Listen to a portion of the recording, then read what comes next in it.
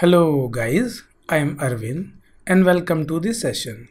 And in this session, we are going to discuss tips and traps of switch case. So let's get started.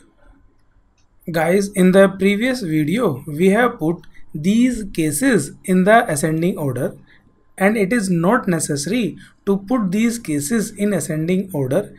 In fact, we can put these cases in any order as we want. So let's change the order of these cases.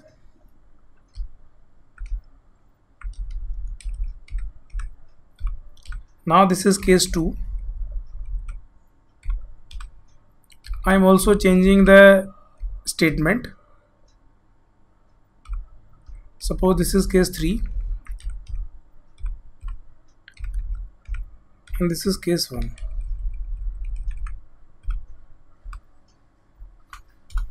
Now guys if I run this program it is requesting to enter the choice. So let me enter the choice. Now guys it is printing the statement from the case 2 so guys I hope it is clear to you. Moving forward guys. Guys multiple cases cannot use same expressions or we can say that two cases cannot be the same. So let's make the changes in our program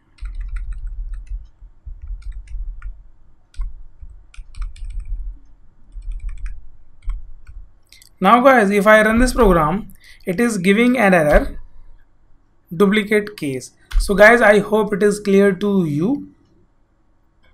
Guys we can also pass arithmetic expression to the switch case. So let's do this. Guys first of all I'm going to comment these two statements.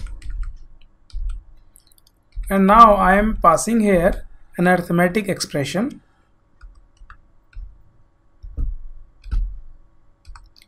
and now guys we will get here 3 because first of all 3 percentile 2 will be executed. That will return 1 and then 2 plus 1 will be executed. So the control will be transferred to the case 3 and the statements from the case 3 will be executed.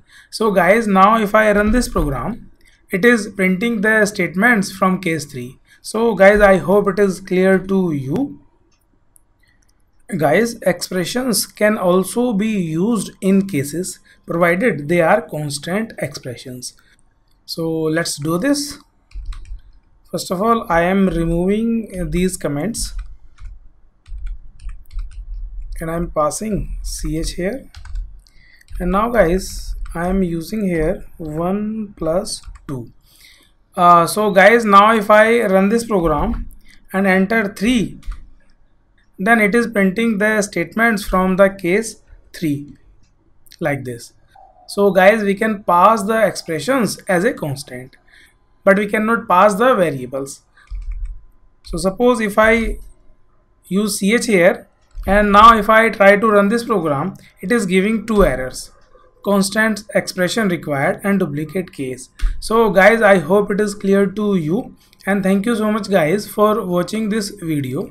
Just in case you liked it do not forget to like and subscribe. I will see you then in the next video